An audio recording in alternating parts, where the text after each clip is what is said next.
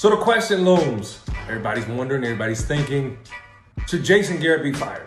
Should Jerry Jones fire Jason Garrett? Last week, he was very adamant about his dismay. Frustrations building, the media can sense it, fans can sense it. America's team is on edge. Let me give you two reasons why Jason Garrett should not be fired right now in the present moment.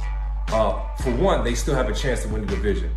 It's probably the nastiest division of football. Giants, Redskins, Eagles just afloat. So essentially, Eagles going to play Miami. They're going to be tied up. They're still going to have a shot to win division, as ugly as it may seem.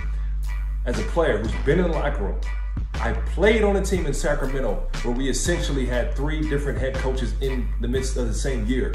You have no idea what's going on as a player, and you go into self-preservation mode. Get mine rather than get wins. That's an ugly place that you don't want your Cowboys and your team to be in, okay, Jerry Jones? So do not fire Jason Garrett. Secondly, things go ugly. Cowboys miss the playoffs. Granted, you are going to fire Jason Garrett. We all understand that and we see that.